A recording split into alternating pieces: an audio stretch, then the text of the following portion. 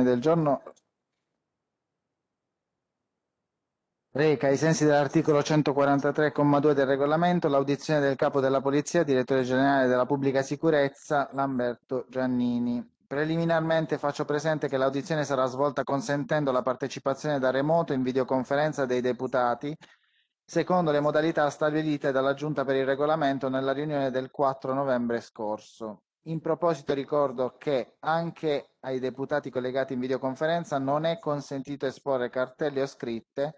secondo le regole ordinarie vigenti per la partecipazione alle sedute. Faccio inoltre presente per i deputati partecipanti da remoto la necessità che essi risultino visibili alla Presidenza, soprattutto nel momento in cui svolgono il loro eventuale intervento, il quale deve ovviamente essere udibile. La Presidenza non potrà infatti dare la parola a deputati non visibili o i cui interventi non siano chiaramente percepibili. Come anticipato, nel corso dell'audizione saranno affrontate anche le tematiche oggetto delle proposte di legge 243 Fiano, recante misure per la prevenzione della radicalizzazione dell'estremismo violento di matrice jihadista e 2301 Perego di Cremnado, recante istituzione della Commissione parlamentare d'inchiesta sui fenomeni di estremismo violento o terroristico e di radicalizzazione di matrice jihadista, in esame congiunto da parte della Commissione. Informo che la pubblicità dell'audizione sarà assicurata attraverso la web TV della Camera dei Deputati. Avverto che al termine dell'intervento del eh, capo della Polizia Giannini darò la parola ai commissari che intendono svolgere considerazioni o porre domande per non più di tre minuti per ciascun intervento. Eh, quindi uno per gruppo per non più di tre minuti, dopo la replica del, del capo della polizia, qualora ci fosse tempo e ci fossero ulteriori esigenze da parte del, dei commissari, cercheremo di svolgere un altro breve giro di interventi. Do la parola al capo della polizia Giannini per la sua relazione, che ringrazio per aver accolto l'invito della Commissione. Prego. Eh, grazie signor Presidente, eh, grazie e, e, buon, pomeriggio, eh, buon pomeriggio a tutti. Eh, ho accolto questo, questo invito con, eh, con, grande piacere per poter eh, sia illustrare le attività della, della Polizia di Stato, l'operatività della Polizia di Stato, sia per eh, poi soffermarmi eh, su quella eh, commiss- eh, sul, per la commissione d'inchiesta e sulle attività per la deradicalizzazione. L'unica cosa che chiederò è per quello che riguarda sia la commissione d'inchiesta che l'attività di deradicalizzazione, eventualmente ci potrebbero essere dei passaggi che forse eh, sarebbe meglio mh, non, non pubblici.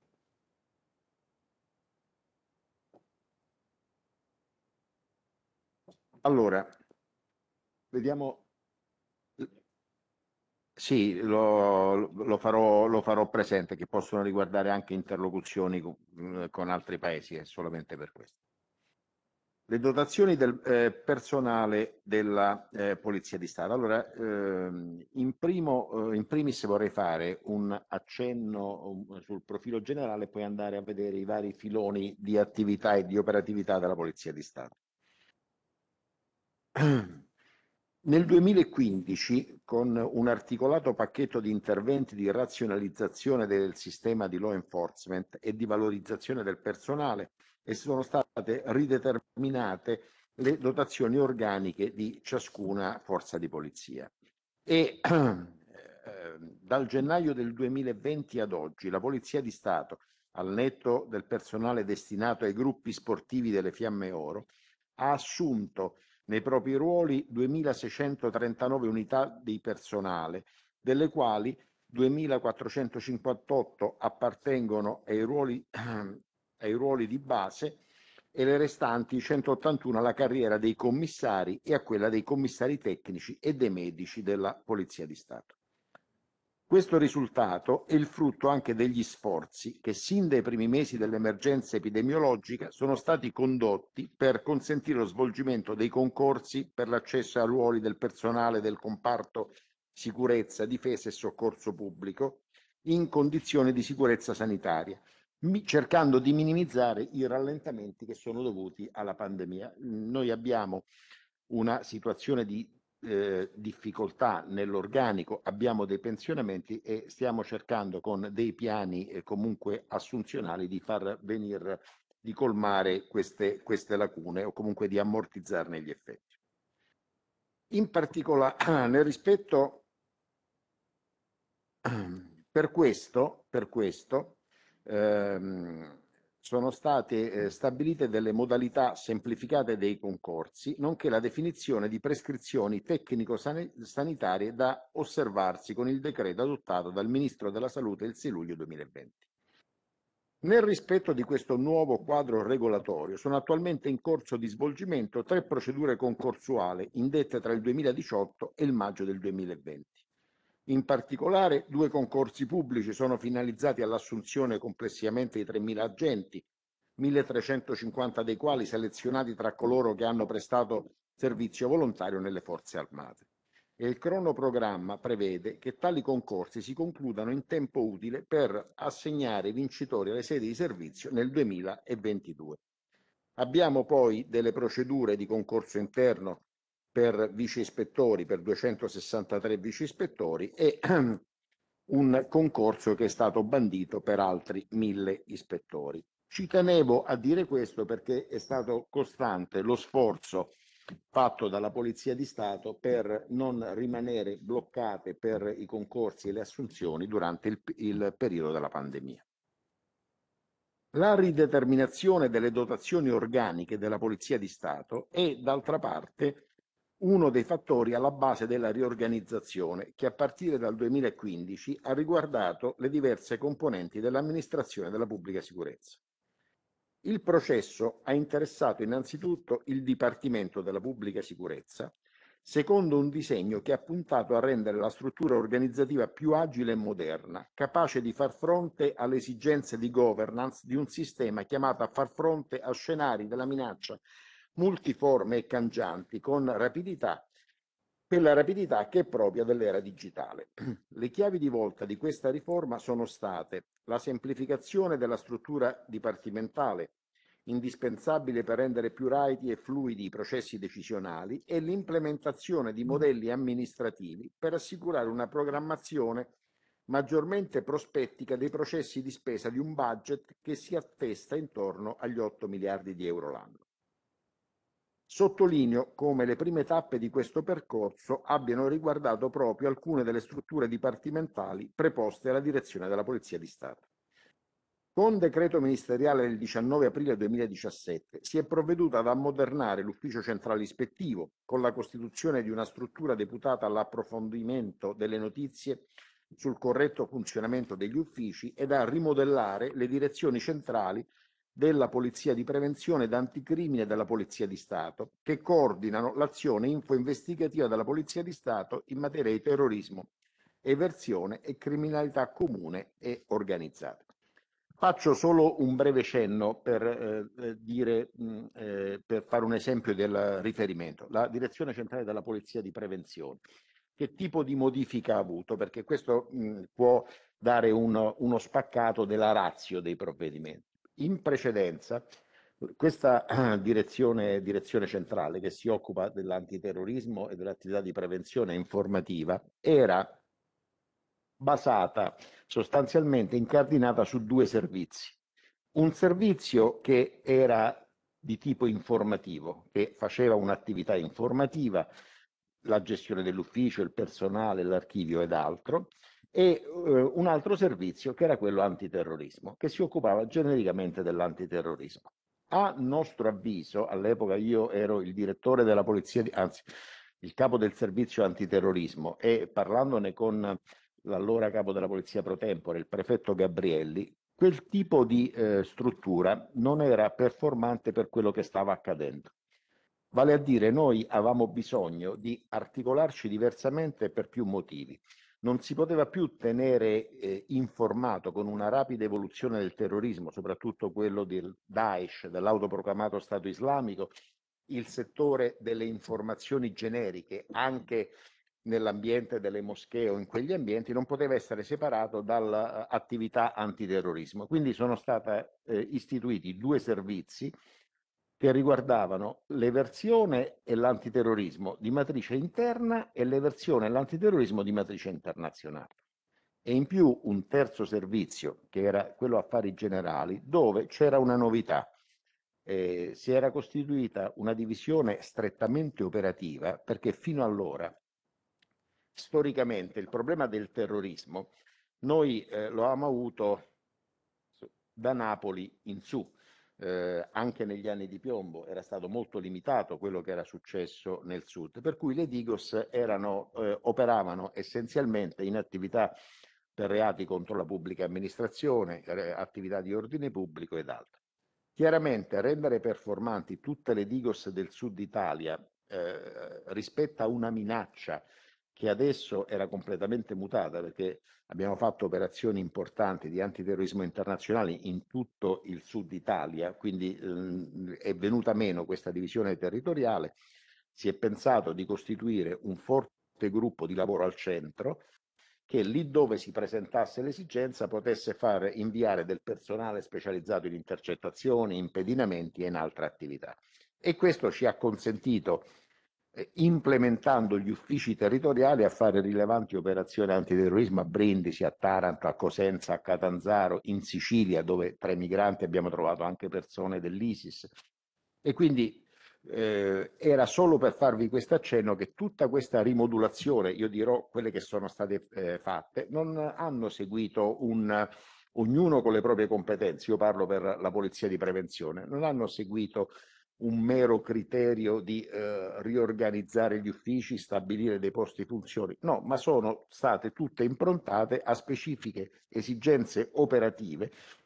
perché era tantissimi anni che vigeva una precedente organizzazione. Quindi l'esigenza di rendere performante dal punto di vista operativo per le nuove esigenze. Il successivo provvedimento del 18 maggio 2018 ha ridisegnato anche l'assetto del servizio Polizia Postale e Comunicazioni,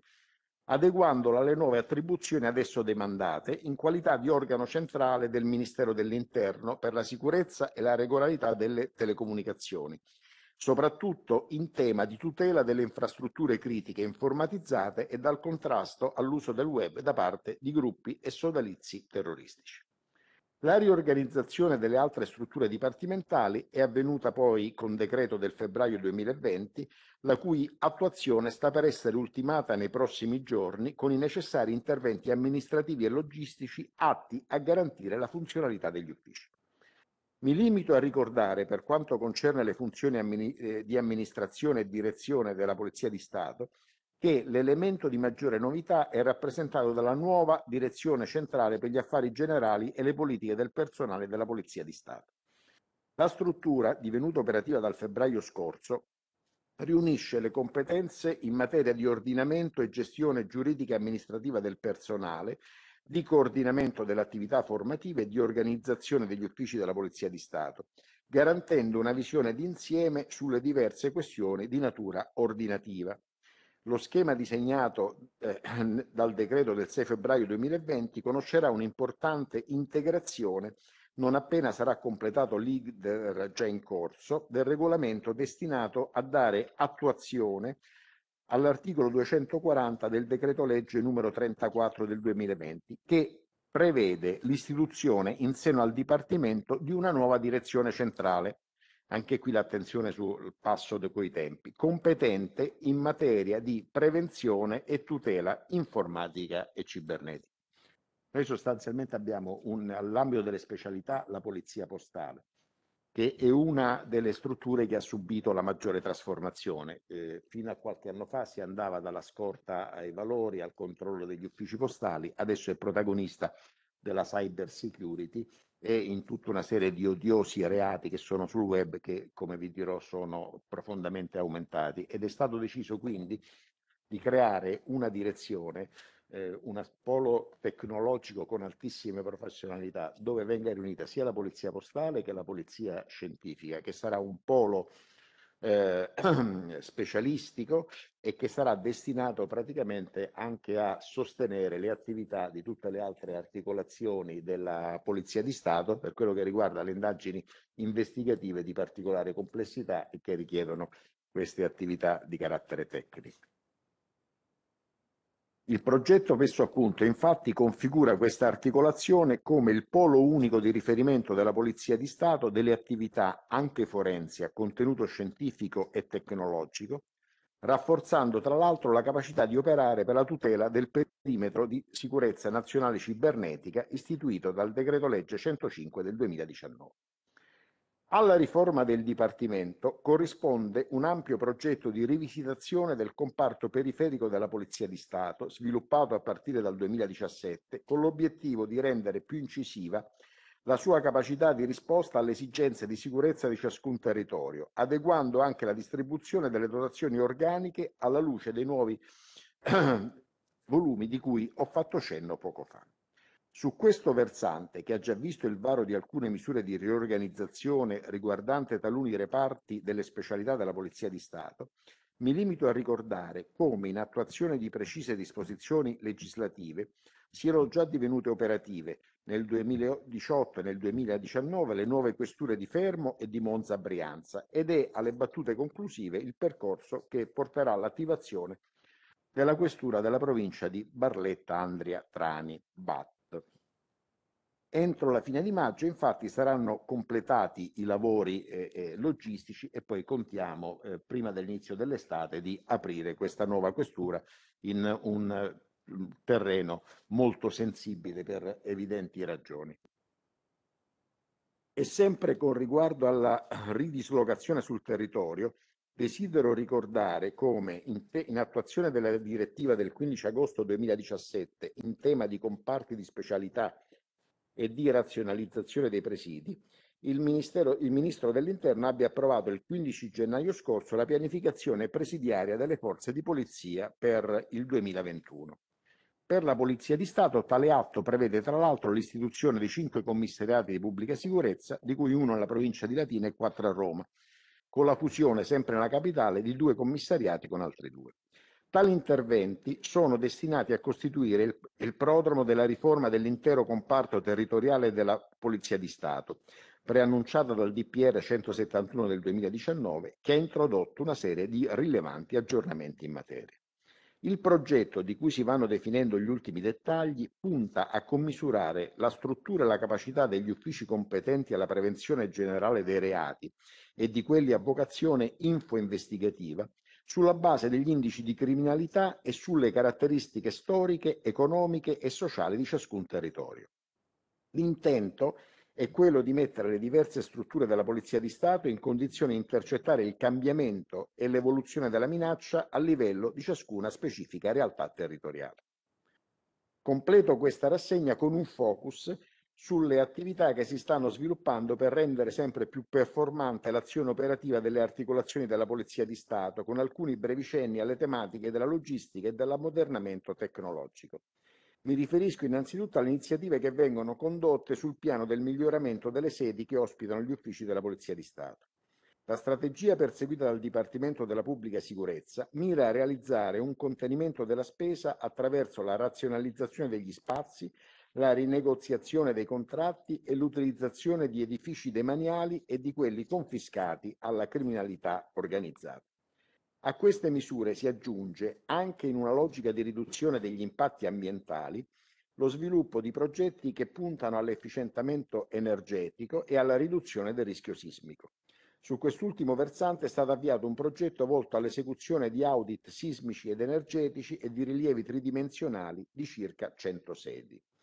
Inoltre, sulla base di un accordo stipulato tra la Presidenza del Consiglio dei Ministri e il Ministero delle Infrastrutture e dei Trasporti, sono previsti interventi altre, presso altri quattro edifici per un importo di 4 milioni di euro circa. Del resto, gli interventi di miglioramento sismico costituiscono uno degli obiettivi indicati da leggi finanziarie per il 2017 e per il 2019, che hanno finanziato interventi riguardanti le sedi di 18 questure. Le attività volte alla realizzazione di tali opere sono attualmente in corso, unitamente a quelle dirette a portare a termine una serie di progettualità che spaziano dalla ristrutturazione di alcuni sedi all'edificazione di nuovi centri polifunzionali della Polizia di Stato, con l'impiego di risorse che superano il miliardo di euro stanziate dalle leggi di bilancio per gli anni 2017, 2018 e 2019. Sul versante della motorizzazione, grazie anche agli stanziamenti conferiti ed impiegati nel 2020, pari a 50 milioni di euro, sono stati avviati programmi volti a rinnovare il parco vetture anche attraverso un più diffuso ricorso ai contratti di noleggio che permettono l'acquisizione di un maggior numero di veicoli con un basso impatto finanziario sul breve periodo. Preciso che attualmente i veicoli acquisiti dall'amministrazione con la formula del noleggio sono 2.840. Aggiungo che in questo contesto il Dipartimento della Pubblica Sicurezza sta sviluppando anche una mirata attività di analisi volta a verificare la possibilità di impiegare per le esigenze di istituto, ivi compreso il controllo del territorio, veicoli a trazione elettrica o ibrida. Ciò in una logica attenta alla riduzione dell'inquinamento acustico e ambientale e finalizzata a mettere a disposizione del personale automezzi che garantiscano un migliore comfort. Concludo questa panoramica ricordando che attualmente è in via di implementazione una serie di sistemi e soluzioni tecnologiche destinati a essere impiegati nelle attività di controllo te sul territorio svolte dagli uffici e dai reparti della Polizia di Stato e di front-end con il cittadino. Mi riferisco tra gli altri al sistema Giove, finalizzato a ridurre i tempi di ricezione delle denunce e a migliorare l'analisi dei fenomeni di criminalità diffusa, in particolare di quella seriale, e al sistema Marte destinato a innalzare il livello di strumentazione tecnologiche delle pattuglie delle questure e dei reparti di prevenzione crimine impegnati nel controllo del territorio. Nel corso di quest'anno 1.655 vetture della Polizia di Stato saranno dotate del sistema multimediale Mercurio, che permette agli operatori di comunicare più velocemente con le sale operative e di effettuare l'interrogazione e la contestuale lettura non solo del CED, ma anche del sistema centralizzato nazionale di targhe e transiti. Durante quest'anno, inoltre, saranno distribuiti al personale della Polizia di Stato addetto ai compiti di primo intervento e delle sale operative mille dispositivi multimediali cosiddetti scudo, finalizzati a supportare le attività operative contro la violenza di genere. Questa è un'applicazione che permette, per esempio, a una pattuglia che interviene di eh, avere subito una visione parlo una donna picchiata o molestata, immediatamente un quadro della situazione su eventuali precedenti, eventuali attività e eh, anche perché spesso e volentieri cosa, cosa accade? Che episodi di violenza di questo genere vanno in escalation, si interviene per una lite, poi entrambe le parti fanno rinuncia a qualsiasi tipo di querela che può essere fatta entro 90 giorni, però poi magari arriva un'ulteriore chiamata al 112 che viene, eh, viene mandata ai carabinieri o altra forza di polizia e questo permette subito di vedere di che cosa si tratta e quindi avere un quadro eh, più generale della situazione che mette chiaramente il personale in grado di operare meglio e di dare maggiore tutela alle vittime di questi reati. Permettetemi ancora di dedicare una notazione di riscontro al sempre più positivo contenuto dell'app UPOL, gestita dalla Direzione Centrale Anticrimine della Polizia di Stato, che consente ai cittadini di segnalare i casi di violenza domestica, bullismo e spaccio di stupefacenti. Lo scorso anno, anche a causa dell'emergenza epidemiologica, attraverso questa app sono state effettuate 32.694 segnalazioni, quasi il 100% in più rispetto al 2019. Per quanto riguarda la prevenzione generale dei reati e il controllo del territorio, fornirò adesso alcuni dati. Con queste dotazioni e assetti organizzativi, la Polizia di Stato è chiamata a gestire l'ordine e la sicurezza pubblica, in una situazione che appare suscettibile di evoluzioni accelerate anche per effetto dei cambiamenti indotti dalla pandemia. Come ho avuto modo di illustrare nella mia audizione innanzi alla Commissione parlamentare antimafia, le statistiche più recenti confermano il progressivo de- decremento del numero dei delitti iniziato nel 2014. Il trend è divenuto più marcato nel 2020, con una riduzione del 18,5% rispetto al 2019, ascrivibile anche alle restrizioni alla mobilità connesse alla gestione dell'emergenza sanitaria. Un andamento che sta proseguendo anche durante quest'anno. I dati più aggiornati, raccolti nell'imminenza di questa audizione, evidenziano come nel primo semestre, trimestre i delitti siano diminuiti del 15,7% rispetto all'omologo periodo del 2020. Le statistiche ci restituiscono una mappa in cui la media nazionale dei delitti è pari a 3.885 episodi ogni 100.000 abitanti, con un decremento nel 2020 delle principali fattispecie di criminalità diffuse, come i furti scesi del 39,9%, i danneggiamenti del 14%, le rapine del 30,8%, i reati di litigiosità violenta del 12,9% e i reati in materia di stupefacenti del 15,3%. Anche in questo quadro di generale positività, gli uffici preposti al controllo del territorio non trascurano di intensificare i controlli straordinari nei quartieri più esposti alla criminalità e di affinare costantemente i metodi del contrasto dei fenomeni più incidenti. Mi riferisco ad esempio allo spaccio da strada, gestito spesso per conto di organizzazioni criminali strutturate da gruppi delinquenziali, tra i quali stanno emergendo anche formazioni composte da giovani e minorenni, quali le pandillas o Mara, che vedono coinvolti adolescenti di nazionalità sudamericane, soprattutto nelle città del nord Italia, e le bande giovanili dell'area napoletana. In particolare le squadre mobili hanno messo a punto nuove modalità investigative che valorizzano la possibilità riconosciuta agli operatori di polizia eh, dalle nuove normative anche per attività sotto copertura. La ripetizione di questo meccanismo consente di acquisire solidi elementi probatori nei confronti delle, di più persone in termini brevi, ossia si fanno delle attività investigative più eh, complesse sicuramente, ma eh, che consentono di fare un numero maggiore di interventi anche con provvedimenti custodiali da parte dell'autorità giudiziaria perché non si va più all'arresto in flagranza del soggetto che magari sta spacciato una piccola dose, ma eh, si cerca di ricostruire l'organizzazione e quindi di poter fare un'attività più efficace. A ciò si affiancano le iniziative che fanno leva sul potere del questore di disporre a norma del decreto 14 del 2017, il divieto di accesso ai locali pubblici o aperti al pubblico nei confronti di soggetti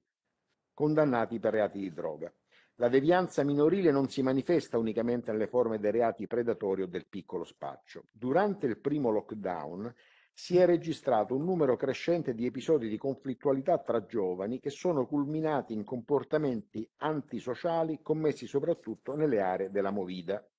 Si tratta di azioni che spesso hanno creato allarme sociale ma sono rimaste prive di rilevanza penale. In un numero significativo di casi tali comportamenti però si sono concretizzati in vere e proprie aggressioni ai danni di vittime vulnerabili o in appuntamenti per scontri tra bande rivali. Le indagini svolte hanno consentito di individuare i responsabili in soggetti di giovane e giovanissima età, con alle spalle un passato di profondo disagio sociale, che utilizzano il web per lanciare messaggi di odio ed attivarsi al fine di commettere violenze, il cui unico scopo è la sopraffazione in se stessa. L'azione di prevenzione generale dei reati sviluppata dalle questure e dai commissariati con il supporto dei reparti prevenzione crimine si giova ad oggi di una serie di buone prassi che dopo una positiva sperimentazione in alcune realtà urbane vengono gradualmente estese all'intero territorio nazionale. Ricordo qualcuna. L'introduzione del modulo di azione Start and Stop, che rispetto ai servizi di carattere itinerante privilegia il posizionamento di unità fisse presso obiettivi di carattere economico o commerciale, innalzando in tal modo il livello di visibilità o deterrenza. L'impiego di pattuglie che si muovono a piedi o in bicicletta rivelatosi particolarmente efficace in alcuni peculiari contesti cittadini. La pianificazione dei servizi sulla base anche di un più esteso ricorso agli strumenti di georeferenziazione dei reati. Quindi facciamo un'attività di analisi per vedere dove vengono commessi i reati e sulla base di questo vengono modulati gli specifici servizi l'attivazione di una serie di iniziative di prossimità rivolte alle fasce deboli della popolazione. Un esempio per tutti, quella degli anziani che sono frequentemente vittima dei reati di truffe. Truffe. Complessivamente nel 2020 la rete delle questure e dei commissariati ha impiegato nelle attività di controllo del territorio e di prevenzione generale dei reati 17.494 unità delle dipendenti articolazioni, a cui si è aggiunto il supporto assicurato da 1.508 unità dei reparti prevenzione crimine. E sempre per fornire una dimensione del volume dell'attività svolta, segnalo che nel periodo maggiormente segnato dalla pandemia, cioè dall'aprile 2020 al 31 marzo di quest'anno, sono stati controllati 5.591.280 persone e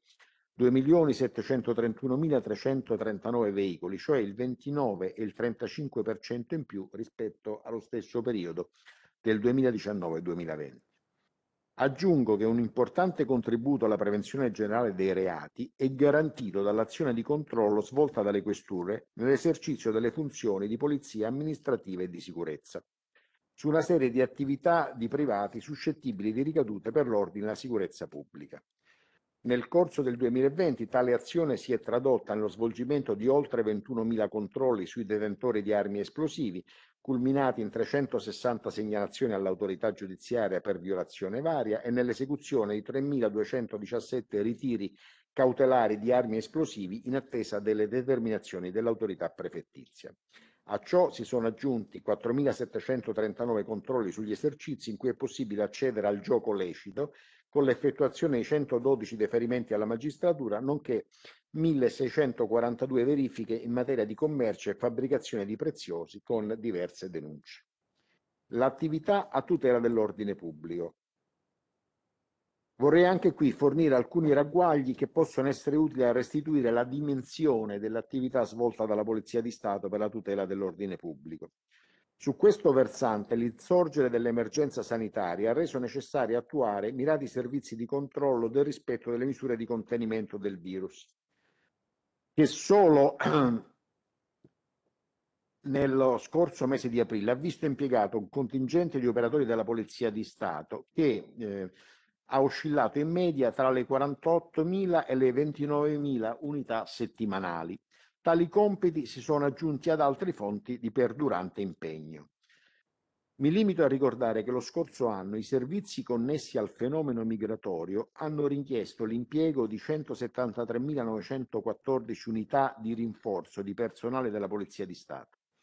Quelli attuati in relazione alla mobilitazione del movimento Notab in Val di Susa di quasi 40.000 operatori dei reparti mobili, mentre per le consultazioni amministrative referendarie si è reso necessario dispiegare 18.295 unità di personale per la vigilanza ai seggi. Sempre nel 2020 si sono svolte 11.378 manifestazioni di rilievo, il 18,5% delle quali era correlato all'azione dei provvedimenti anti-Covid e per la loro gestione si è reso necessario inviare, in aggiunta ai dispositivi già presenti sul territorio,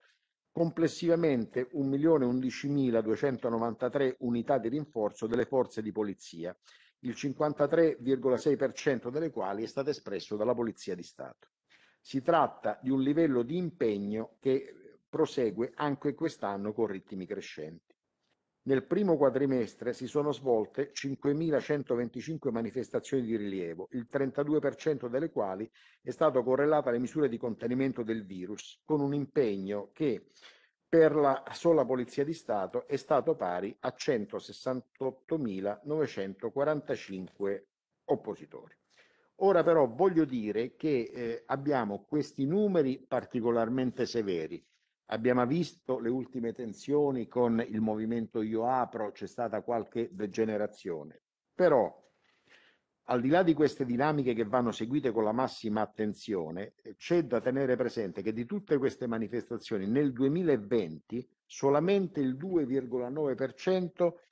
sono eh, state caratterizzate da qualche criticità anche marginale e nel primo quadrimestre di quest'anno solamente il 2,8%. Questo lo eh, considero un risultato particolarmente significativo di cui volevo farvene parte anche perché l'attenzione mediatica, come tutti eh, voi sapete, si concentra lì dove c'è la criticità, in realtà c'è anche un lavoro enorme fatto giorno per giorno silenziosamente e poi va tutto bene. Non è però così scontato. Un altro versante di particolare impegno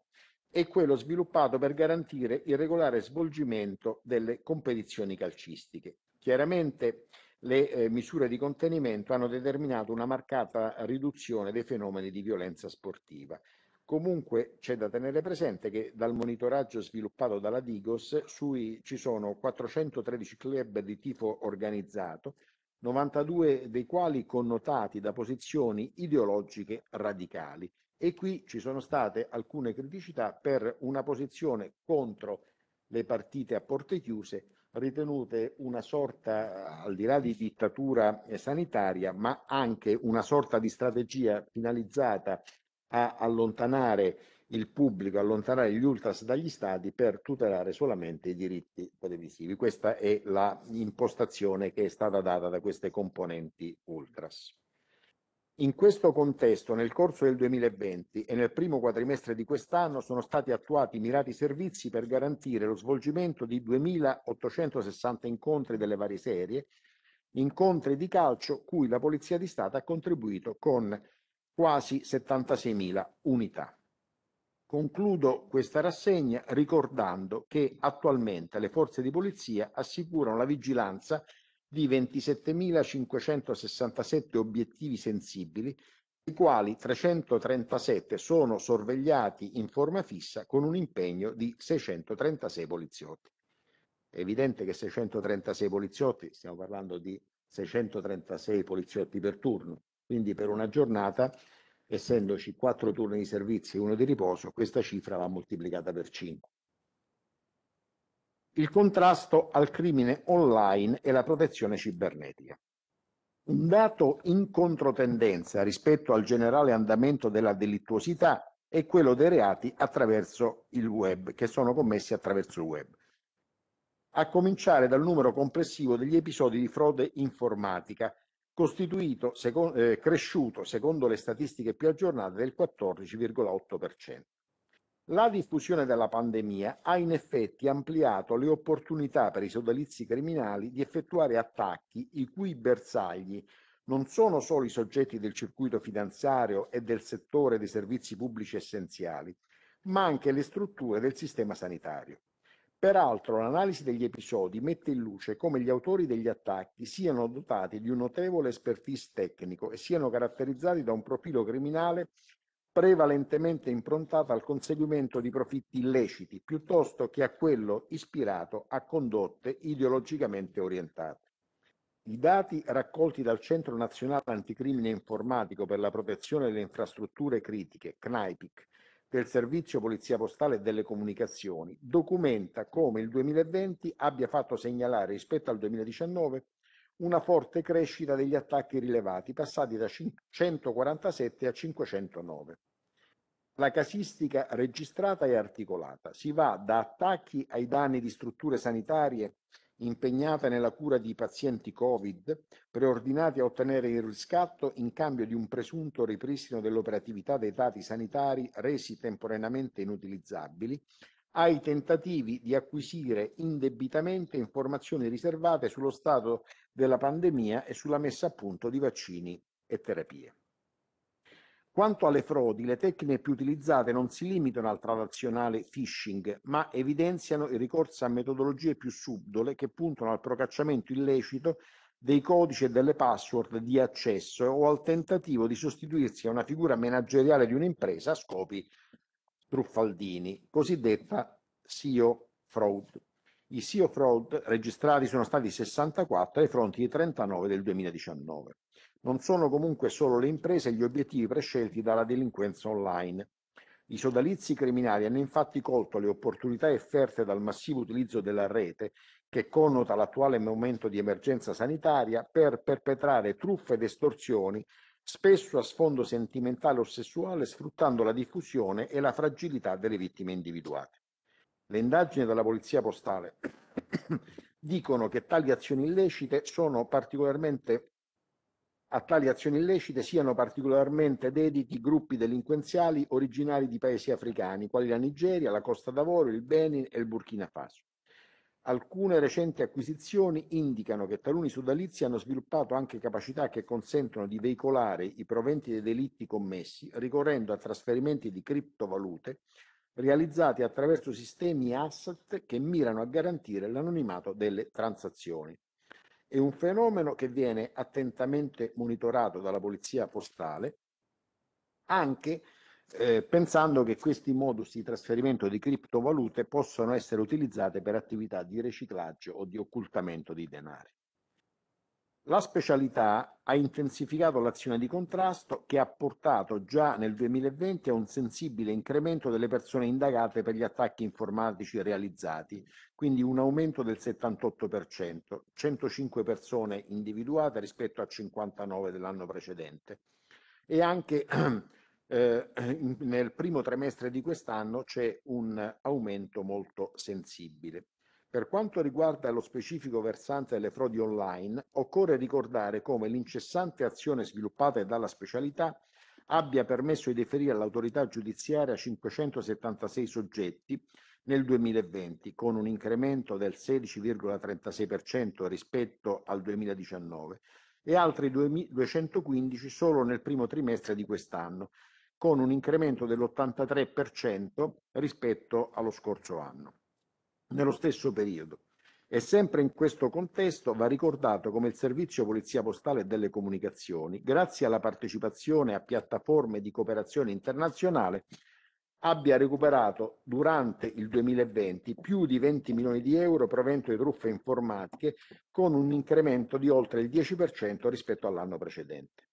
Anche alla luce di questi risultati può essere letto il dato che documenta come l'entità del denaro movimentato dalle frodi informatiche abbia fatto registrare nei primi tre mesi di quest'anno una diminuzione del 74,2% in rapporto allo stesso periodo del 2020, durante il quale questi valori avevano conosciuto un significativo picco.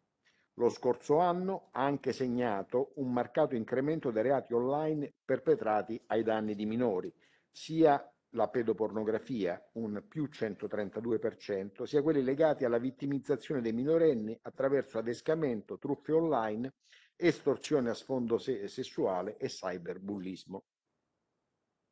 Questo fenomeno è stato eh, chiaramente favorito dal massiccio utilizzo durante il lockdown degli strumenti informatici da parte dei ragazzi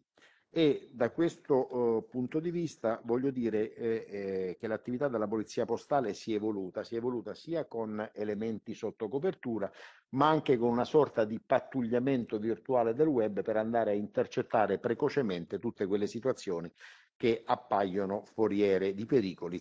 e poter, e poter intervenire tempestivamente. Mi scusi se la interrompo un attimo, solo per dire che dato il nostro tempo a disposizione, sì gli argomenti che lei sta trattando ovviamente sono tutti delicatissimi e molto importanti, però abbiamo due strade davanti a noi. O procediamo con la lettura integrale della relazione e poi ci rivediamo con un secondo appuntamento per le domande, oppure eh, diciamo dobbiamo andare con una lettura un po' più veloce per permettere almeno un giro di domande. Guardate, eh, eventualmente eh, possiamo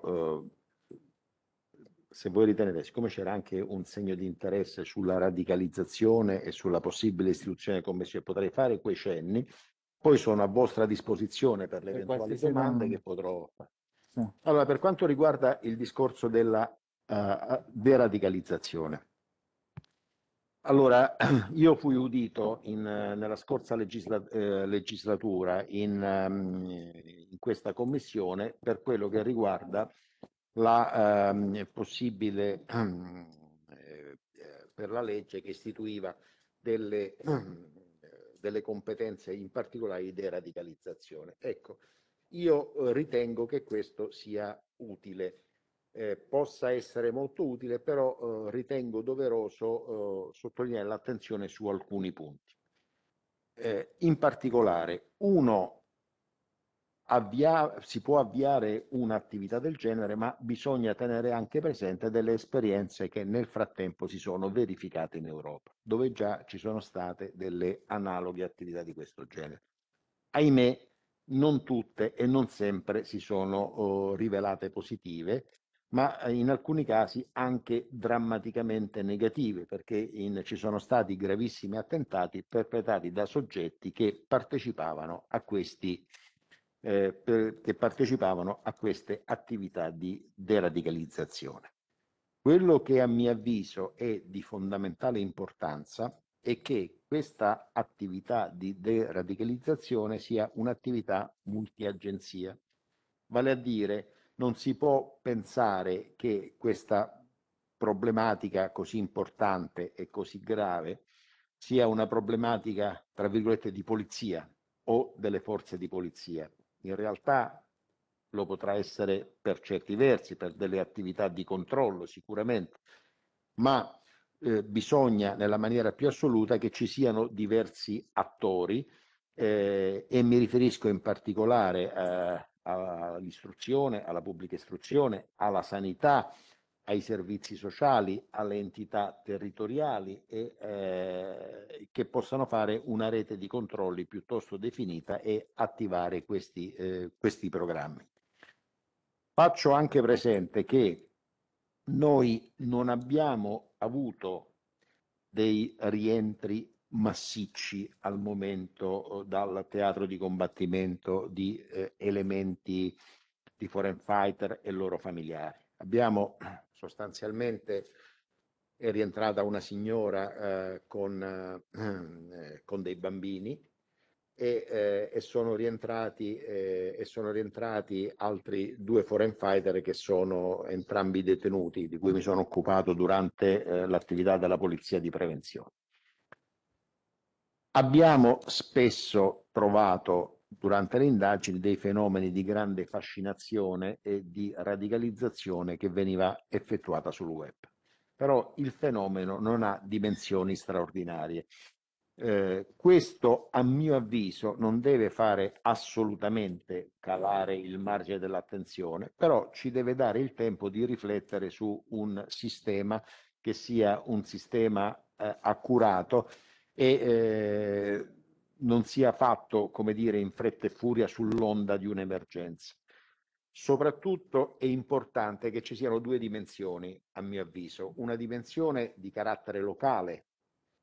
dove una serie di, eh, di operatori, ripeto, dalla scuola, dalla sanità, eh, dai comuni, dai servizi sociali, dai centri antiviolenza sulle donne, adesso dirò perché, segnalano una serie di situazioni, le intercettino e ci si avvia poi con dei programmi, con eh, degli psicologi. A mio avviso è importantissimo il ricorso e la collaborazione anche con le comunità di religione islamica, con degli eh, imam qualificati che possano eh, portare e spiegare anche dove sta la deviazione e dove sta il, il falso messaggio. E poi arrivare a un nucleo centrale dove a mio avviso il nucleo centrale, che mh, potrebbe in qualche maniera vedere un po' le strategie, non dovrebbe però avere una, una, un gruppo così ampio di soggetti, perché questo potrebbe anche portare delle difficoltà nella fluidità delle comunicazioni e nei provvedimenti che vengono presi. Perché vi ho parlato dei centri antiviolenza sulle donne, perché noi siamo sempre stati abituati che, mh, di intercettare delle comunicazioni magari di violenza dove ci stavano so, problemi di alcol in famiglia, dove ci stava problema di gelosia, dove ci stava un dissidio familiare. In alcuni casi è capitato eh, invece che il problema nasceva da una persona che per qualche motivo si radicalizzava e pretendeva dalla propria compagna dei comportamenti assolutamente nuovi e assolutamente non in linea con eh, la, precedente, la precedente vita. Perché vi parlo della scuola? Perché alcune significative indagini antiterrorismo sono nate dalla segnalazione delle scuole di bambini che fuggivano durante l'ora di musica perché era peccato e andando ad approfondire siamo arrivati a delle situazioni molto pericolose di eh, radicalizzazione grande, addirittura ricordo di eh, temi di bambini molto piccoli che esprimevano il proprio disagio, eh, il proprio conflitto tra il rapporto di grande amicizia e fraternità che avevano con il proprio compagnetto, però sul fatto che il proprio compagnetto aveva una religione diversa e quindi doveva essere in qualche maniera considerato un soggetto comunque avverso. Ecco quindi la necessità e l'importanza di fare questa attività eh, di rete, un'attività uh, multi, multistruttura che, ripeto, riguardi tante parti, della, tante parti della società civile e non solamente le forze di polizia. eh, devo anche dire che un fenomeno che mi ha molto colpito e su cui ho incappato diverse volte in indagini è stato oh, quello su altre forme di radicalizzazione che spesso hanno riguardato i, i, i ragazzi giovanissimi, ragazzi giovanissimi ed è stata eh, relativamente alla, a propugnare delle idee di carattere negazionista, di carattere nazista, di carattere vi dico solo, vi dico solo un, delle chat che hanno portato a dei eh, processi dove sono, stati, sono andati anche dei minori e questi parlavano della necessità di adoperarsi in qualche modo contro le eh, adozioni, contro le adozioni, le adozioni internazionali, farneticando di possibili contaminazioni della razza, farneticando di, eh, insomma, con frasi veramente pesanti che sono agli atti di processi sul fatto che vengono adottate scimmie e poi con una serie di riferimenti o addirittura delle persone con disabilità definite disgustose. Tutto questo proprio perché andava ad attingere dei giovani molto piccoli, eh, che dobbiamo assolutamente tendere ad un'attività di recupero, ad un'attività di ripresa di questi ragazzi che si trovano eh, chiaramente a dire eh, delle enormità e che spesso non hanno un cattivo maestro da loro conosciuto, ma spesso vanno a rimandare a siti che stanno in altre nazioni, a siti di suprematisti, al Ku Klux Klan, a attività di questo genere. Ecco, questi ragazzi, a mio avviso, meritano un'attenzione eh, ed è un fenomeno che è abbastanza diffuso. Ci sono indagini recenti, per esempio, che hanno riguardato ragazzi che si sono detti eh, seguaci dei cosiddetti incel che trovano, realtà, eh, che trovano cittadinanza in altre parti del mondo. Incel sono celibi involontari, cioè ragazzi che per una serie di motivi non riescono ad avere contatti con, i propri ragazzi, eh, con il prossimo, rimangono isolati, hanno delle difficoltà eh, di, eh, ehm, si sentono emarginati, si sentono non accettati e abbiamo trovato chat siamo intervenuti di gente che pensava comunque o parlava di shooting, quindi gli spari nelle scuole, gli attacchi e questi sono fenomeni che in altre parti del mondo appartenenti a questi incel hanno fatto attentati sanguinosi. Noi finora non abbiamo avuto attentati di questo genere, ma abbiamo avuto soggetti che si vantavano della possibilità di poter essere i primi. Magari è semplicemente fascinazione, non è altro, però seguire questi soggetti con percorsi psicologici e comunque togliere queste idee e deradicalizzarlo, a mio avviso, è anche questo di eh, estrema, estrema utilità. Poi, per quanto riguarda eh, l'altro tema, se potevo dire due parole per quello eh, che riguarda la, mh, la commissione, la possibilità. Ma su, su, questo, se fosse possibile, un attimo, perché volevo fare alcuni cenni all'attività attuale, se fosse possibile non rendere pubblica. Possiamo disattivare l'impianto sulla web TV.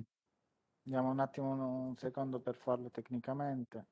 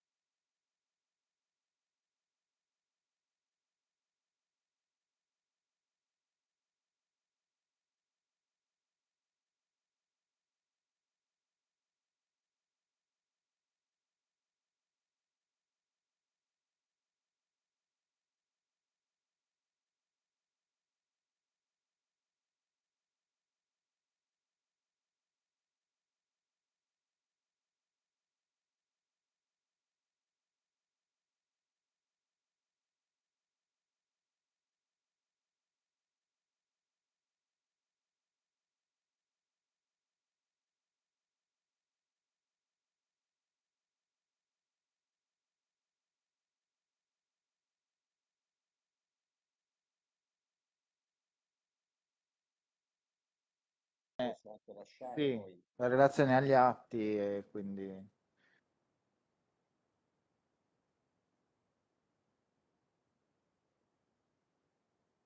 Benissimo, abbiamo riattivato il circuito. Io voglio ringraziare davvero il capo della polizia per questa relazione veramente preziosa che non abbiamo avuto modo di ascoltare per intero, ma che sicuramente leggeremo in maniera molto attenta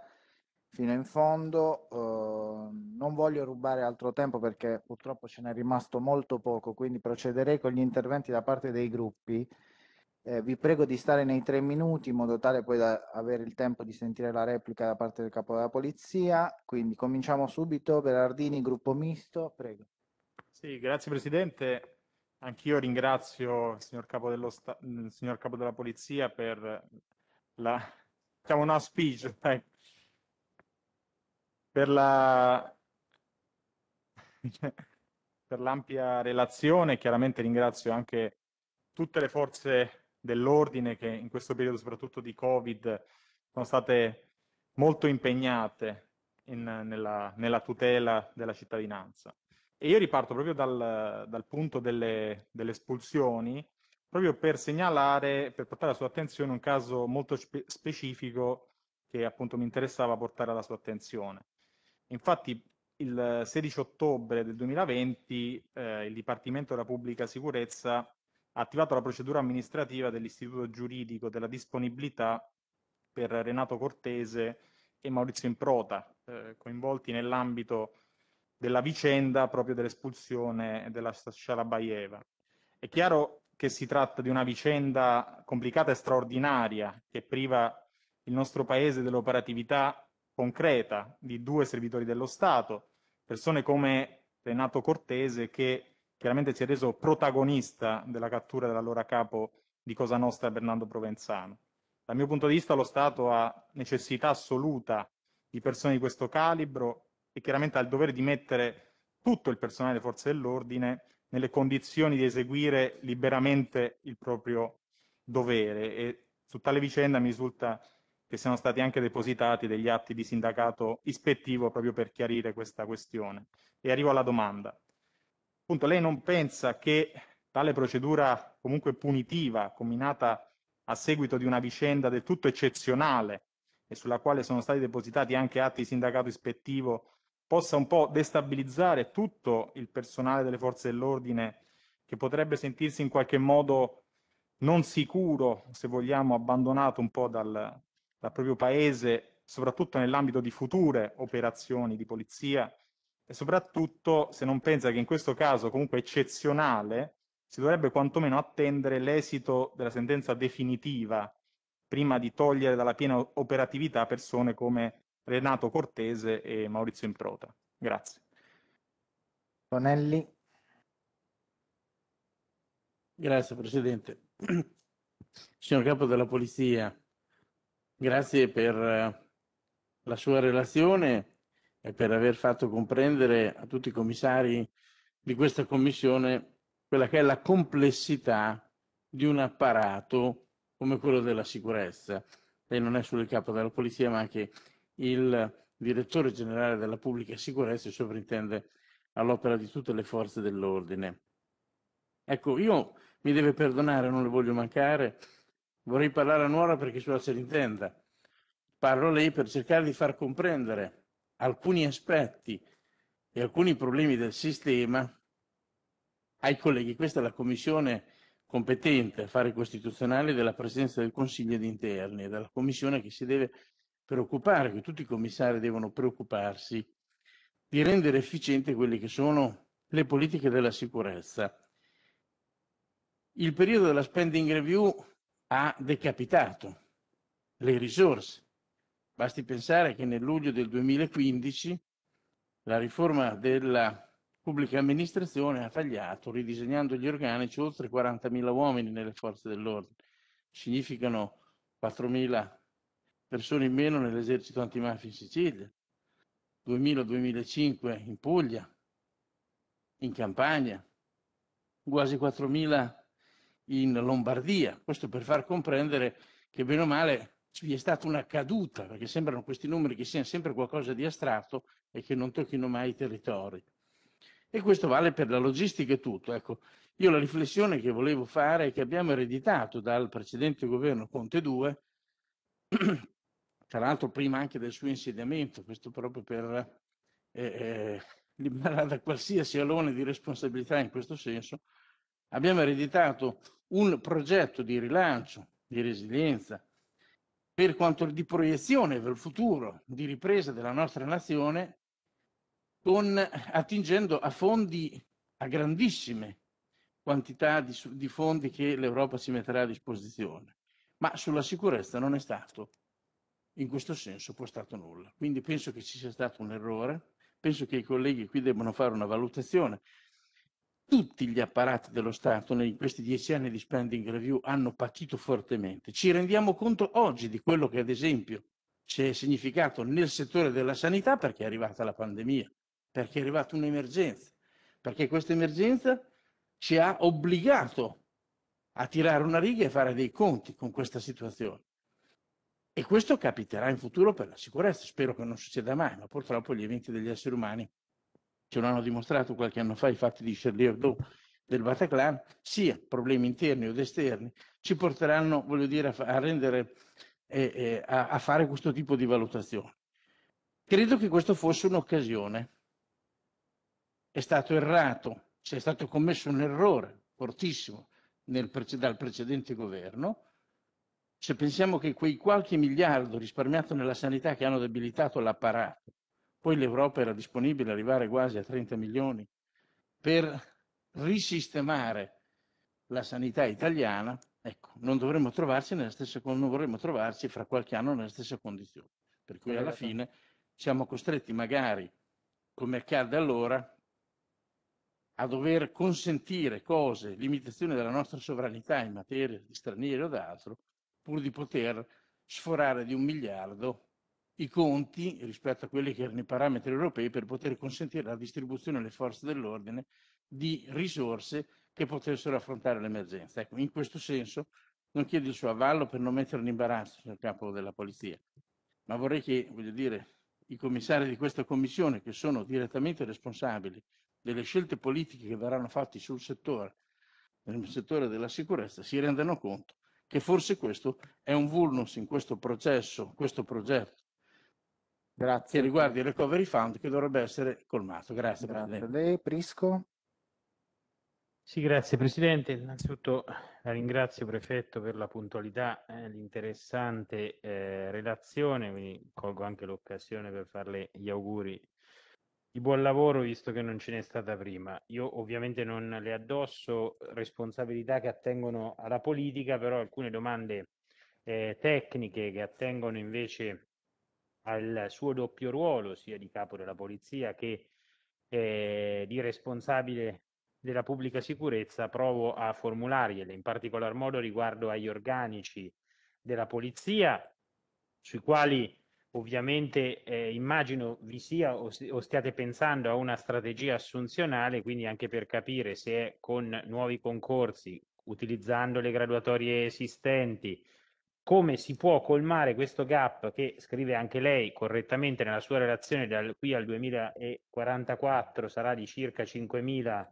eh, unità, ma che già sappiamo nei prossimi cinque anni sarà comunque molto molto consistente per via degli esodi. Quindi le chiedo anche cosa può fare la politica in questo senso per aiutare la Polizia di Stato, perché ritengo sia una, una priorità per la nostra nazione, per rimpinguare eh, questi organici nel più breve tempo possibile.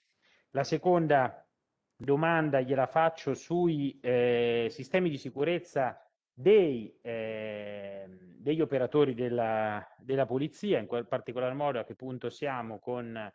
eh, quella che doveva essere una sperimentazione, l'attivazione del sistema eh, di utilizzo del taser e eh, sulle eh, dotazioni di DP, perché ci viene spesso segnalato che insomma dotazioni di, di, di dispositivi di protezione individuali, giubbotti antiproiettili per esempio,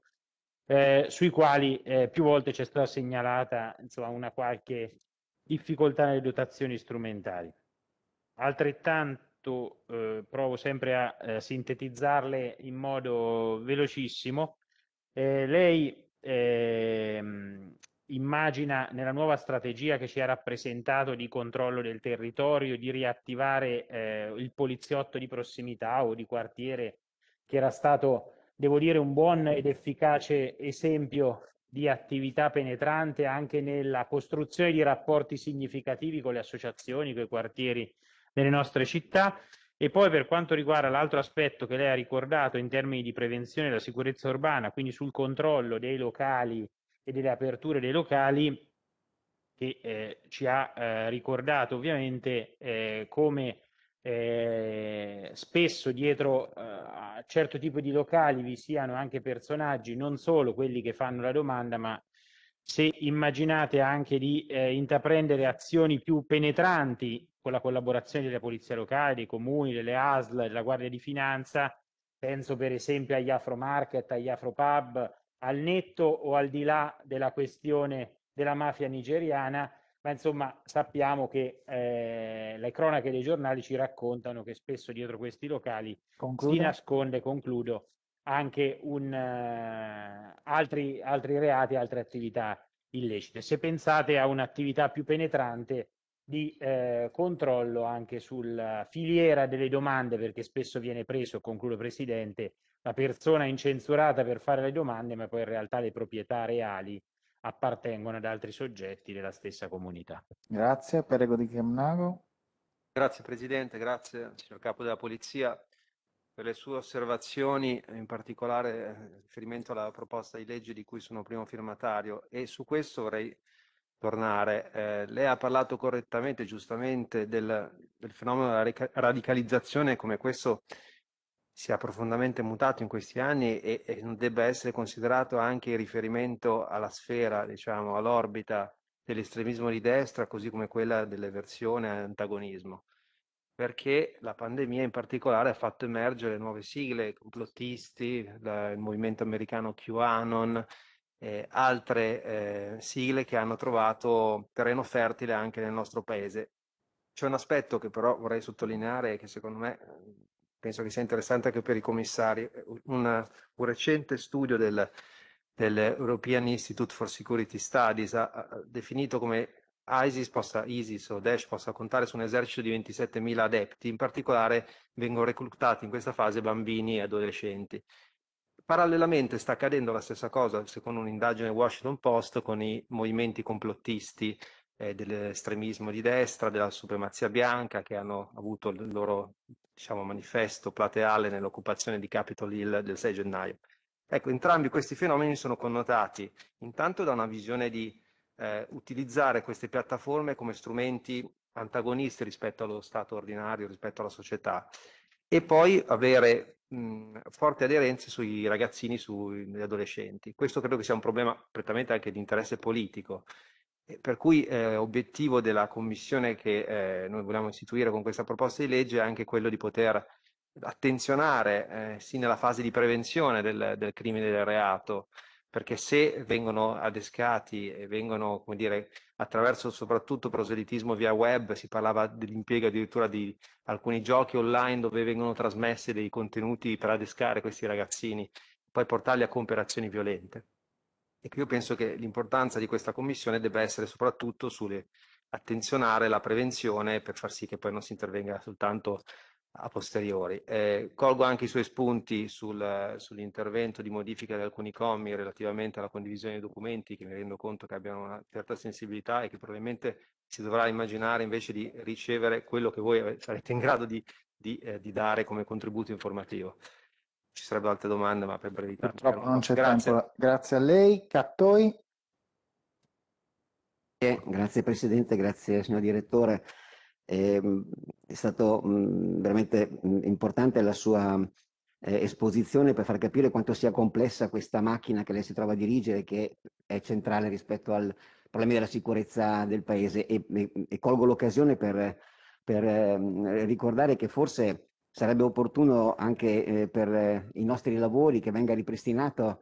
eh, la, com- la, la, commissione dedicata ai problemi dell'interno, come fino al, alla decima legislatura era in questo Parlamento, e che eh, invece da allora a questo punto, diciamo così, soffre di centralità i problemi della sicurezza declinata al civile rispetto per esempio alla Commissione Difesa che diciamo, ha una sua autonomia. Però ecco, per tornare alla macchina,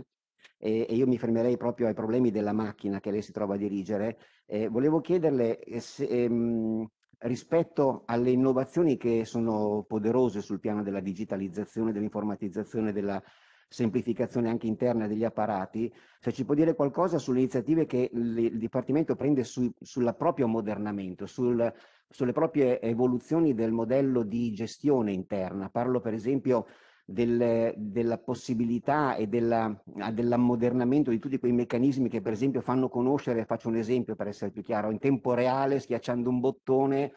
quante armi comuni da sparo ci siano oggi sul territorio, perché questo è un problema è come dire, molto molto sentito che, che, che dire, impermia anche la, la sicurezza eh, locale, oppure quanti chili di esplosivo ci sono ad uso civile sul territorio, il, la, il tracciamento degli, degli esplosivi anche ad, ad, uso pirotecnico, per esempio, che sono una quantità eh, enorme e che si perde poi nei, nei rivoli eh, vari della, della, criminalità anche, della, della criminalità organizzata. E, e, questo, per esempio, ecco, questo, una, una, modernizzazione su questo piano. Una seconda domanda sul completamento della banca dati DNA, abbiamo, di cui abbiamo prorogato il termine alla fine dell'anno, e l'ultima invece, se, quali iniziative mh, pensa siano opportune per il reclutamento di personale appartenente a etnie o, o di origine straniera, questo proprio per eh, essere efficaci in questo contrasto, anche a livello di, tra di, di traduzioni alle volte per l'autorità giudiziaria, viste anche le, i grandi successi che sono stati ottenuti in, in questo campo. Parlo per esempio dell'indagine a Torino eh, sulla, sulle mafie nigeriane insieme alla polizia locale, quindi che, che iniziative eh, riguardo proprio all'implementazione all'interno del reclutamento di forze di questo tipo dedicate e quindi di interfaccia importante in questi settori. Grazie. Grazie a lei. Abbiamo gli ultimi due interventi. Madia Di Maio. Prego, prego Madia. Presidente, grazie. Io non faccio parte di questa commissione, come lei sa, e sono qui a Dren per un provvedimento successivo e quindi ho sentito solo parte dell'audizione del capo della polizia che comunque ringrazio e non sarei voluta intervenire solo per amore di verità attraverso Le lei. devo chiedere di cambiare il microfono per Eh, cortesia. va bene adesso? Mi pare di sì. No. No, tengo acceso il mio così va bene. Dicevo, in pochissimi secondi, per amore di verità, attraverso lei vorrei non porre una domanda al capo della polizia, ma fare una puntualizzazione rispetto alla eh, domanda del collega Tonelli perché ehm, durante il governo Renzi noi non tagliammo l'organico eh, della eh, polizia, ma facemmo un'operazione molto diversa che il collega Tonelli ha dopo svariati anni ancora una volta strumentalizzato, e cioè in accordo con l'allora capo della polizia, che era il prefetto Panza, tagliato gli organici non effettivi, ma quelle piante organiche che erano puramente teoriche e che eh, ragionieristicamente eh, ci consentirono attraverso un taglio, ripeto, puramente teorico, di fare allora delle assunzioni effettive che non erano mai state fatte negli anni passati. Quindi noi in quegli anni abbiamo aumentato l'organico della polizia e quello non fu un taglio effettivo, ma ripeto, un taglio di una pianta organica che, che era assolut assolutamente teorica e che non rappresentava eh, donne e uomini della polizia. Siccome tutto rimane agli atti, casualmente sono qui e vorrei che anche questo rimanesse agli atti. Assolutamente sarà così. Di Maio, ultimo intervento, prego. Grazie Presidente, eh, un saluto anche da parte mia del nostro gruppo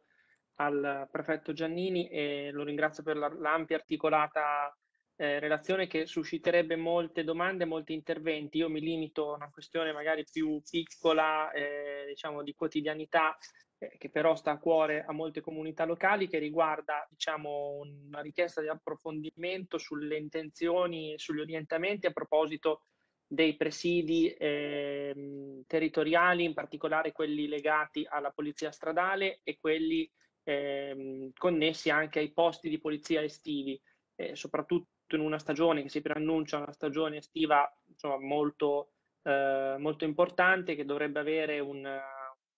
diciamo, un successo di, di, di, presenze nelle località turistiche molto ampio, eh, si presenta con grande preoccupazione la necessità di garantire un'adeguata presenza delle, delle, forze di polizia, per cui capire se eh, diciamo, negli orientamenti e nelle disponibilità anche ovviamente eh, attuali c'è l'intenzione di rafforzare eh, questa presenza. appunto la, la, prima domanda invece era eh, connessa al, agli interventi e alle azioni di potenziamento del presidio eh, sul, della polizia stradale, in particolare nell'ottica eh, di una sempre maggior eh, sicurezza delle nostre strade, che lo riteniamo un elemento fondamentale, di cui si parla meno quando si parla di sicurezza, ma che è altrettanto importante. Grazie. Grazie a lei. Io mi rendo conto che le sollecitazioni da parte dei colleghi siano state numerose e che richiederebbero forse un'altra ora di relazione da parte del capo della polizia, ma le chiedo di stare in dieci minuti, se è possibile, dieci minuti per permetterci poi di fare la sede referente. Prego. Presidente, mi spiace contraddire, ma dieci minuti non mi sono assolutamente sufficienti. Io, se voi ritenete, visto che ci sono le domande, sono state eh, molto varie, eh, ampie e anche eh, alcune eh, tecniche che richiedono una serie di, di, numeri, valutazioni e cifre, io potrei eh, rispondere al volo a, a qualcuna di queste domande e, o, e, e, in tempi brevi farvi pervenire, come avete acquisito la relazione, una serie di eh, discorsi eh, un pochettino più articolati, anche con dei numeri per quello che riguarda alcune cifre dell'arruolamento o altro. Se, se, per i commissari va bene, io penso che sia la maniera più adeguata di procedere. Prego. Allora, io chiedo scusa, ma andrò un, andrò un po' a saltando diciamo così, tra eh, le, varie, eh, le, varie, domande eh, che ho avuto, che alcune le, le, ho, le, ho, fissate, altre le ho ben presenti, eh, adesso risponderò. Allora, intanto per quanto riguarda la possibilità del controllo delle armi, che è un problema estremamente sentito, volevo comunicare che stiamo oh, predisponendo uno schema di regolamento che consentirà di tracciare le armi e le munizioni in attuazione dell'articolo 11 del decreto legislativo 104 del 2018.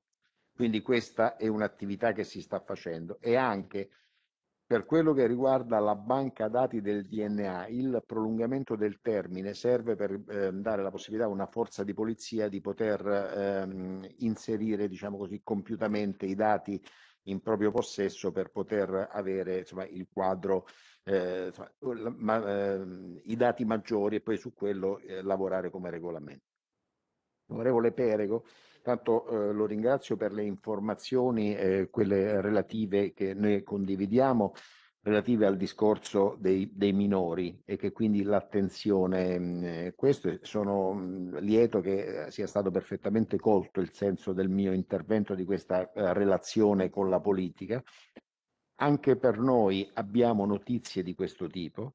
e, e dico che anche uno dei maggiori pericoli che c'è eh, per quanto riguarda il terrorismo è il ritorno dai, dai campi, dal teatro di combattimento e dai campi di, eh, di prigionia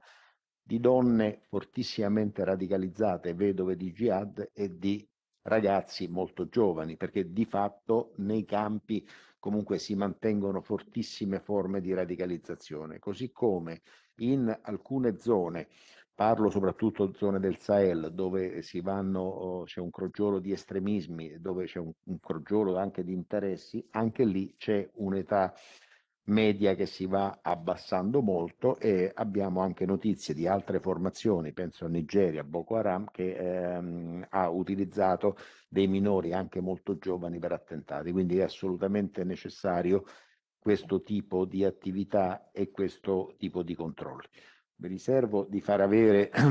eh, il programma assunzionale che verrà fatto per cercare di colmare eh, queste lacune, però faccio presente, prima l'avevo detto, che c'è stato anche uno sforzo in termini di modifiche regolamentari per quello che riguarda ehm, l'espletamento dei concorsi per riuscire a in qualche modo a, a ridurre i tempi eh, che sarebbero stati lunghissimi per quello che riguarda il discorso dell'emergenza Covid, perché chiaramente noi mh, solo a sommi capi abbiamo delle giornate con visite mediche, eh, selezioni, prove attitudinali, visite da uno psicologo, quindi abbiamo cercato di fare e queste chiaramente eh, in tempi normali ogni giorno si faceva un numero di persone che eh, con le regole del Covid sono diventate un quarto mh, circa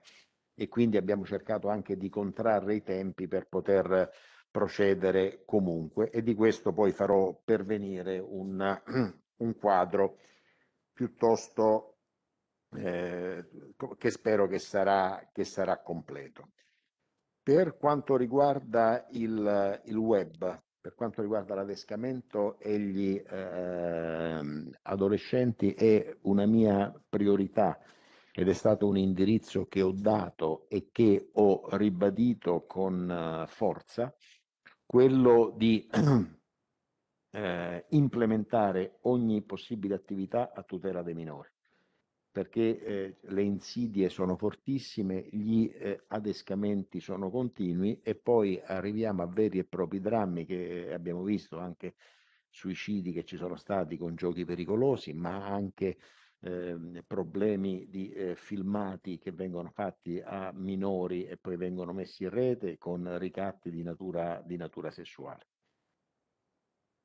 e, e quindi a mio avviso, a mio avviso è, è necessario e saranno implementate tutte le attività che già sono molto forti e lo avete visto dai dati che sono in crescente, in crescente aumento. E non è un caso che si è deciso di attivare questa direzione centrale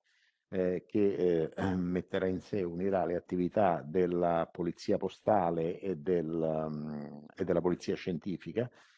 che un, sarà un polo tecnologico di eccellenza che sarà, farà attività investigativa e sarà al servizio di altri uffici investigativi. A questo proposito,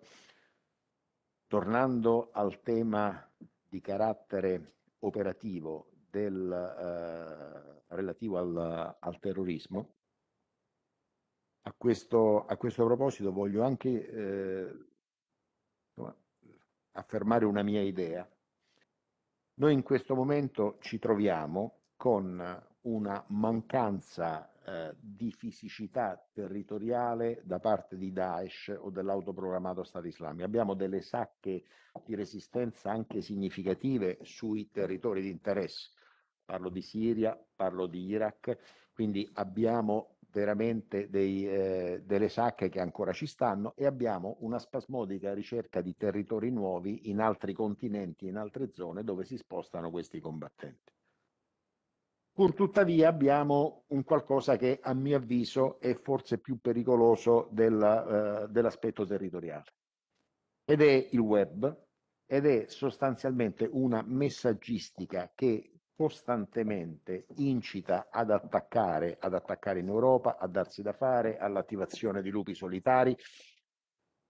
eh, manda su alcuni siti ci sono i bollettini di guerra di Daesh, elencano le azioni che hanno fatto, le perdite eh, asseritamente inflitte al nemico, le perdite che hanno avuto i Mujahideen, sempre con dei rapporti inverosimili pubblicano addirittura bandi di arruolamento, abbiamo acquisiti, minacce, minacce che riguardano per esempio anche il nostro paese e molto spesso vengono messe immagini di paesi europei, immagini eh, di, di, di, posti, di posti italiani. Ecco, io, eh, questa non è la prima sede in cui lo dico, ma a mio avviso va fatta una riflessione. Noi adesso abbiamo la punibilità eh, per eh, coloro che eh, fanno apologia oppure che diffondono questo, questo materiale. Bene, io ritengo che ci sia una soglia eh, di grandissima pericolosità per questo materiale che porta alla radicalizzazione e a mio avviso sarebbe opportuno fare una riflessione sul trattarlo alla stregua del materiale pedopornografico perché il materiale pedopornografico, la semplice detenzione porta comunque alla commissione di un reato. Ora io non riesco a giustificare, come chiaramente non è nemmeno immaginabile giustificare il possesso di materiale pedopornografico, ma io non riesco nemmeno a giustificare e non riesco a vedere il motivo di studio, il motivo di conoscenza, il motivo culturale che possa giustificare che qualcuno sia in possesso di filmati di decapitazione, qualcuno sia in possesso di, in, di filmati che io ho visto di eh, madri con tre bambini che vengono messi al muro e vengono fucilati, eh, di bambini che vengono portati a sparare in testa a, a soggetti che sono prigionieri. Ecco, io su questo ritengo che ci sia sempre con l'effigie di Daesh e con l'effigie di questo autoproclamato eh, ripeto, Stato islamico. Ecco, io da questo, da questo punto di vista, da questo punto di vista, devo dire che ritengo, ritengo opportuna una riflessione da, da questo punto di vista. Eh, non so se ho ancora tempo, però non mi vorrei so sottrarre a una, a una, domanda per dire che siccome eh, lei ha fatto cenno a degli atti di sindacato ispettivo, stiamo predisponendo, predisponendo le, le, risposte e le devo dire che eh, io ricordo e faccio mie le parole che furono dette dal capo della polizia pro tempore all'atto oh, di una sentenza che abbiamo, che abbiamo registrato, io le dico anche personalmente con grandissimo disappunto, con grandissimo disappunto dovuto alla eh, conoscenza, alla grandissima stima che ho oh, di colleghi e alla certezza che la posizione verrà eh, al, più presto, al più presto chiarita perché come eh, ha detto lei eh, esistono vari gradi di giudizio e le persone sono innocenti fino a, um, alla conclusione di questi gradi di giudizio. Gli atti di sindacato eh, ispettivo conterranno una ricostruzione dei fatti per come all'epoca, uh, per come all'epoca eh, erano, per come all'epoca erano, parlo anche degli elementi di conoscenza in ordine alle singole, alle singole posizioni, ma eh, ripeto, richiamo la posizione del eh, capo della Polizia Pro Tempore che eh, nel esprimere il grande dolore e il grande rammarico per quello che era successo e dell'intima convinzione che noi abbiamo e che io personalmente ho eh, in relazione ai, ai colleghi, e comunque ha preso atto che è stata pronunciata una sentenza eh, nel nome del, del popolo italiano e che noi siamo la polizia, ma io confido che eh, insomma, ci saranno i termini per eh, i termini, i tempi affinché vengano chiarite determinate circostanze di una situazione che sicuramente è stata complessa. Perfetto, per tutto il resto quindi attendiamo il materiale che eh, si è detto disponibile.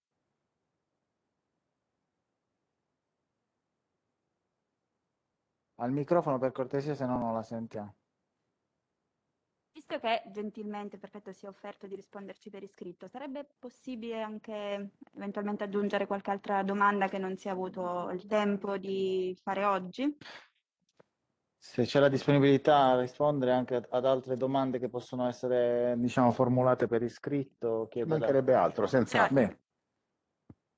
No, questo no. Benissimo, allora la ringraziamo davvero per il suo prezioso contributo. Come ha visto è stato di grande interesse per la Commissione che ha partecipato in maniera molto numerosa uh, alla, all'audizione. Terremo in considerazione la sua relazione e nel caso poi le chiederemo di tornare su altri provvedimenti. Grazie mille al Capo della Polizia, al quale auguro buon lavoro. Grazie, grazie.